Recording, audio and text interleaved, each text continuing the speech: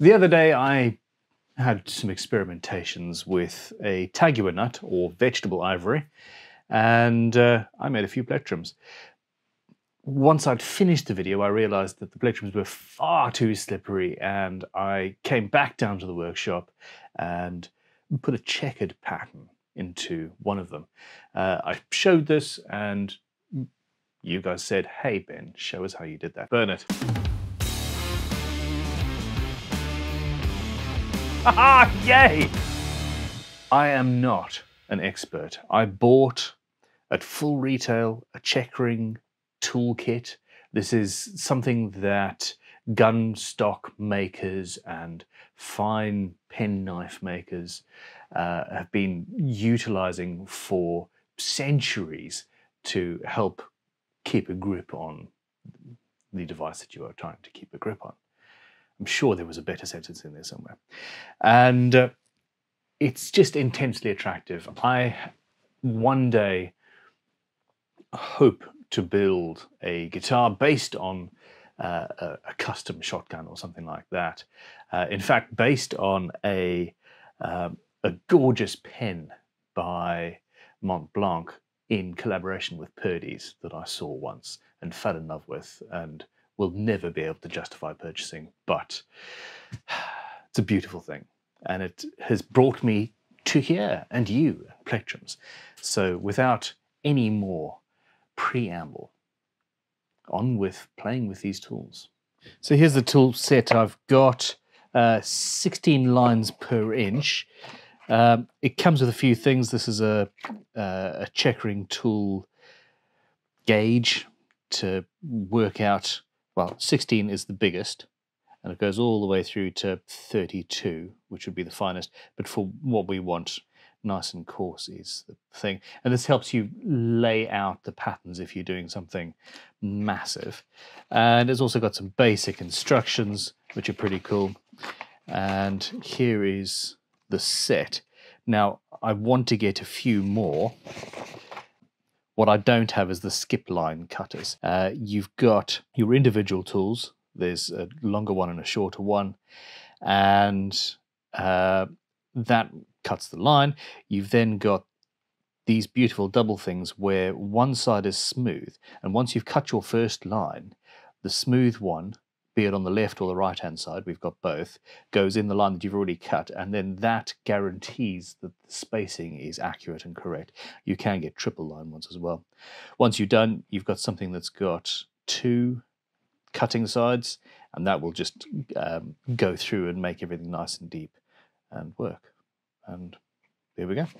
Uh, it's it's really very simple and straightforward. It's just a case of going at it. Uh, in fact, I think marking out is more important. So that's one where the left-hand side is smooth and you've got a cutting edge. That's your double cutting edge. You can see I have been playing with these quite a bit. Single. I think we've got a single coarse and a single fine. And there's a very short single one. I'm not entirely sure what that's for. I think just specific or more precision and then that's a left hand side. It's the opposite side to whatever I said earlier. And it's a good little set, but uh, what I do want now is I need to get myself some skip line cutters.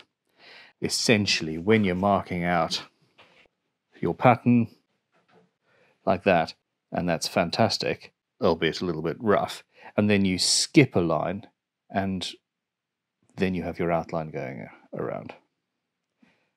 And that's what that skip line thing is for. It has that for just fantastic drawing skills and, and, and camera work at the same time. I mean, gosh darn it. Uh, anyway, on to the real work. That's uh, what I've already done. This is the fatter of the two.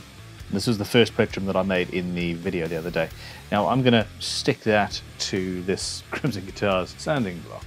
And you have all seen the masking tape and super glue trick. So too early in the morning. I appear to be a little bit cack-handed today.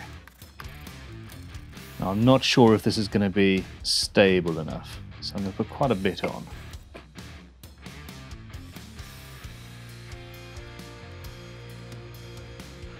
That actually works quite well. Yeah, that'll do. Now, once you've got your initial lines, uh, this is three, which means it yields diamonds three times longer than their width. Uh, on the first one that I did, I just I just guessed, uh, and it worked all right. But uh, yeah, let's do this one properly then. I'm going to start with just a single cutter. I'm going to start by putting this in a vise actually. So, single cutter, and very carefully, forget it. No, hold on. I'm remembering what I did last time because this is so delicate and curved. Okay, that now gives something for my file to follow.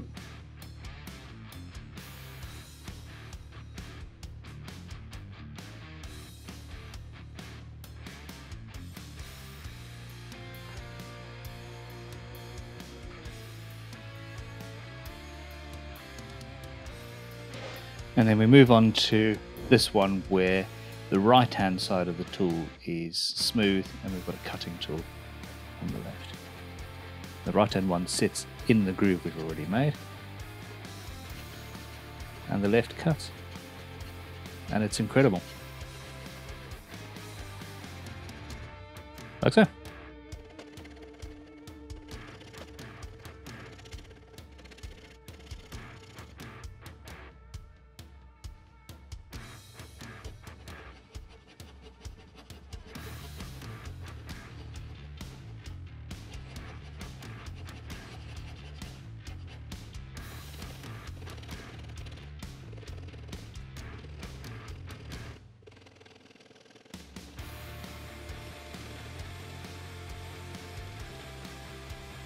Now the other side, just to make that a bit more even, and that is a pattern I'm happy with. Maybe a tinsy bit there actually.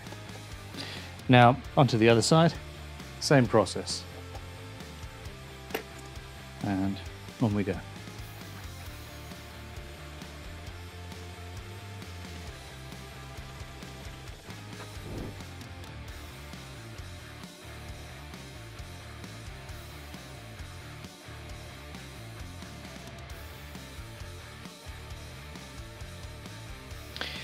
So using just three tools, I've got uh, an okay pattern.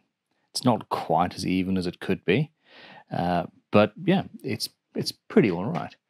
Uh, at this stage now, I'm going to take the double cutter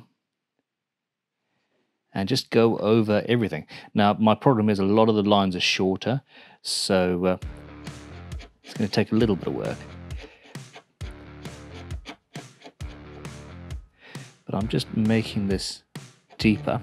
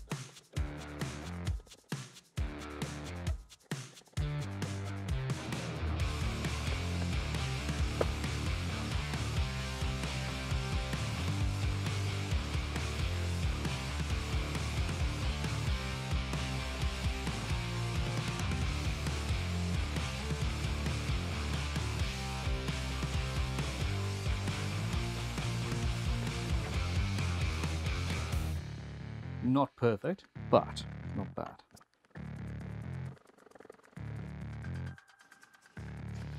So you can see here, if you watch the other video, there was a, um, a little bit of a shake within the Tagua nut that I used. And you can see just a little bit of that there.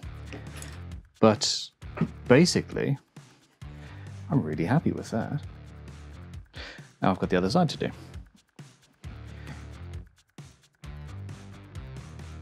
And so. And here's the other side with a little bit of thought, not quite enough. I've made it, I'm not entirely sure if it's better or not, but uh, at least I've stayed within the lines and it is, uh, it is what it is. But you can, if you draw things out, I haven't quite centered it properly. should have gone there. But uh, yeah, you can do some pretty amazing things with this process. And uh, oh, I hope you enjoyed that. Let me know in the comments below. I much prefer the other side. Well, there we go. So I could have just not gone over in places. Anyway, it definitely has a little bit more grip. I mean, ball grip that I'm ever going to need. Thank you very much for watching. Click like, subscribe. It really helps, and I do appreciate it uh, if you already have. Um, if you want to see more videos like this, please let me know in the comments below. If you have any questions, ask away. I see almost all the comments and I reply to as many as humanly possible, which is quite a few. Um, I need ideas for videos. If you want these shorter tutorials or shorter project videos, let me know what you want to see and I will see if I can make it happen. Um, we're done. The next video is Saturday and that is going to be episode two of the new full scratch guitar build and go and check out crimsonguitars.com this weekend black friday uh, friday saturday sunday and monday we will have a limited sale on courses and all finishes and things. So yeah, check that out. And thank you again for your support. Goodbye.